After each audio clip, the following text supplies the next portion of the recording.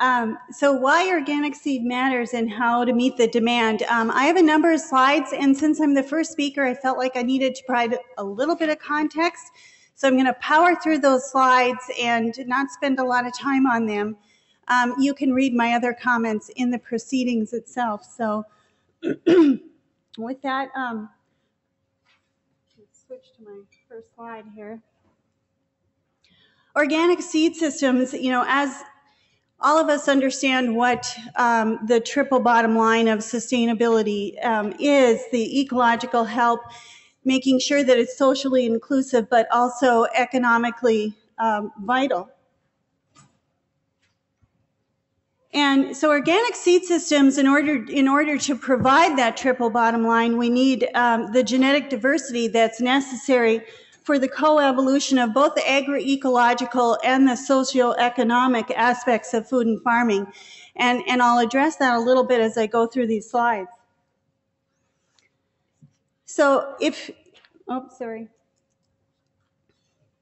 So part of, of what we need is not only the, the diversity within particular crops, but also the diversity of crops within organic farming systems. So all of us know that as we further diversify the rotation, um, the uh, strength and vitality of our farming systems also increases. So part of what um, we've been doing on our farm is delving into the history of food and agriculture in our region. It really provides some invaluable insights into the diversity of crops and varieties that have been grown historically um, this is Oscar Will. He started a seed company. Um, he came to the Dakotas in 1881. So this was nine years before we even had an agricultural college in North Dakota. Um, in his 19, or 1896 catalog, we see the first reference of his interest in developing regionally adapted varieties. Um, the catalog's title was Northwestern Grown Seeds and Trees. So he considered North Dakota the Northwest. Um, much of the germplasm was actually gifted to him by the Mandan, Hidatsa, and Arikara tribes. Um, and he uh, also was called a pioneer seedsman, and the roots of the Pioneer Seed Company are in Oscar Will's um, seed company. So the North Dakota Agricultural College was established in 1890. So exploring our land-grant universities and their crop breeding history and the varietal releases that, that they um, bred provides insights into what adapted germplasm and, and what sort of quality traits they were seeking.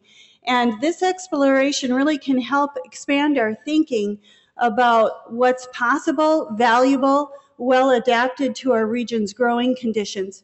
Cross-referencing that with historical information, that historical information with personal stories about the crops and varieties that were grown um, in a, on our farms and in our gardens in a, in a particular region also adds another dimension of understanding. So Oscar Will was dissolved in 1960. The nursery's acreage is now under a mall. Um, this is the back cover from the 1858 or 1958 catalog, and it uh, displays Will's Pioneer Home Collection, Home Garden Collection, and it featured the most, the best and the hardiest varieties for a rugged northern climate was how he pitched it. And the Wills always asserted that the foundations for progress were hard work, personal independence based on home food production, and garden varieties that were developed for the region's unpredictable climate. So, you know, you think about that in, in 1958 and, and compare that to the situations we're dealing with now. So we're, we were able to obtain a list of all the varieties that had been developed by North Dakota State University. The NDSU Horticulture De Department was merged with the Plant Science Department in 1991, and so we've had a 24-year gap in plant variety development in vegetables um, on the part of our land-grant university.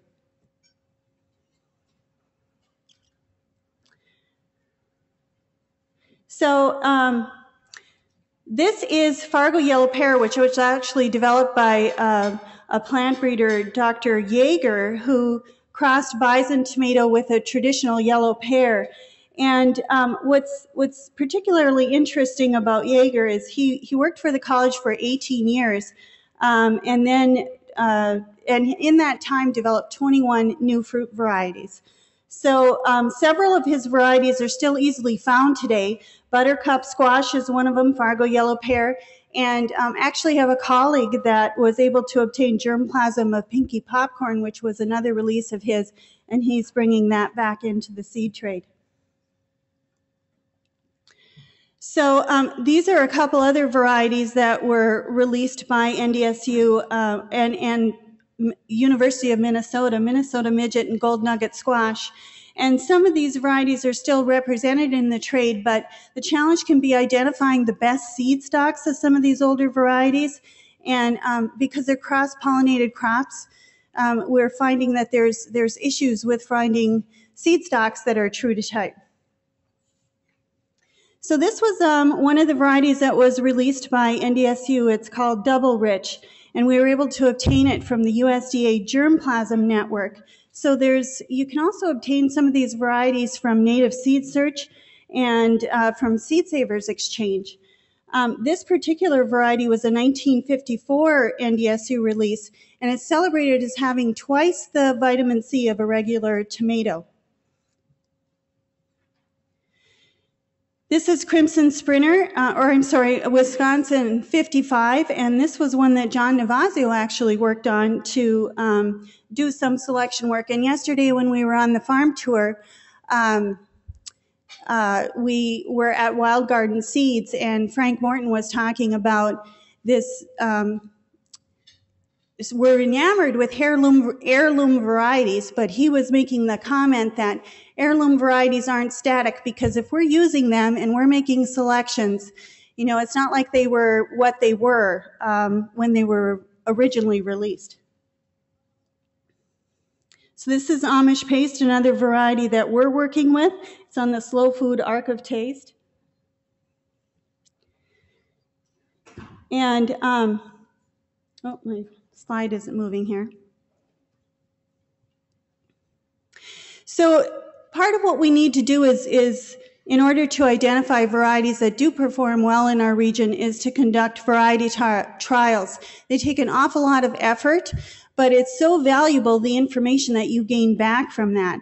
And so as we explore some of these um, varieties that were originally developed or utilized in our regions, conducting variety trials of not only those varieties as compared to the market standards that are out there now, but also conducting variety trials of the various seed sources that these varieties are available from, and then identifying the best possible germplasm is really critical to provide, you know, reintroducing these varieties into the seed trade. So um, the germplasm information network that I um, mentioned earlier is critical in order to provide the diversity that we may need in order to um, develop some of these minor crops and reintroduce some of the, the heirloom and heritage varieties that used to be utilized in our farming systems. This is the Northern Plains Sustainable Agriculture Society's Farm Breeding Club, and they have, um, we've been conducting emmer variety trials as well as einkorn, and all of that germplasm was accessed accessible through the USDA Germplasm Information Network. And so funding that network and making sure that we have access to that germplasm is critical in order to do this kind of work.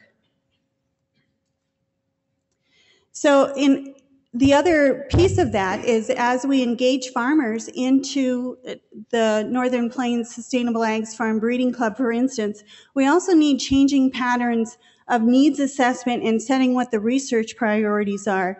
Um, Farm Breeding Club is, is a participatory plant breeding model, so we need to increase the linkages and relationships um, within uh, all along the food value chain. Uh, so not only involving farmers and researchers, but also involving the processors and, and ultimately the consumers. And leveraging that information to inform and empower people is really critical and, and will help preserve our collective seed heritage. So all of us are aware of the evolving food culture and um, the linkages between food farming and health and the environment, and seed is at the nexus of that paradigm. So, uh, getting back to the variety trials, providing that social inclusion where um, consumers are taking part in these variety trials and actually tasting them and providing feedback. And also, um, just part of the feedback loops can be through the, the Farm Breeding Club, through outreach work, um, actually meeting your customers, selling your seed, uh, getting that feedback from them on how the varieties are performing, what are their issues in gardening, and what their needs are is critical to, to actually um, making the organic seed system um, relevant to them. So collaboration and healthy feedback loops, providing that targeted research reduces the cost of development and also provides for greater farmer adoption of those relevant seed varieties. So um, I talked earlier about economic vitality that if you're targeting your research and actually providing high value seed production and, and relevant varieties, then you'll have an enhanced sales, which will increase the resilience of the organic farming systems. So this is this is um, a shot on our farm. Uh, the the continuing education and um, especially of the next generation of seed producers is so critical. So we need to continue to foster seed saving and seed selection and plant breeding skills within the organic seed community and within youth and the involvement of farmers as well. But the other piece that is so critical um, in order to provide um, a, a high quality seed source is seed cleaning and conditioning skills. On our farm, we, we take this very seriously. All of our varieties are run over a gravity table and seed cleaners. Um, we run all of our tomato seed through um, an air column so that we're selecting for the heaviest seed. So only the heaviest seed, the highest test weight seed, goes into our seed packs. And if we want farmers to and, and gardeners to put forth their money and, and pay the higher cost for organic seed, we need to make sure that they're getting high quality. So part of that is also having a stock seed program. And this, I think, is one critical piece that's missing in organic seed systems. Um, the actual stock seed systems where you're going through and your first picking is selecting the very best plants. The, the, if, if one of your criteria is selecting er, for earliness, um, going through and, and identifying which of those plants meet your criteria and picking your stock seed first before you harvest your production seed. So this is a critical aspect. And as a seed producer, I can't tell you how many times where I've been contracted with organic seed companies to grow a particular variety, receive the stock seed of it, grow it out, find that it's not true to type. And now I'm in a breeding and selection process instead of producing actual seed. So um, this is just one of our a couple of our varieties that that we're actually maintaining. We we maintain stock seed on all of our varieties, but every one of them have selection criteria, and so we go through and and make our selections based on that criteria.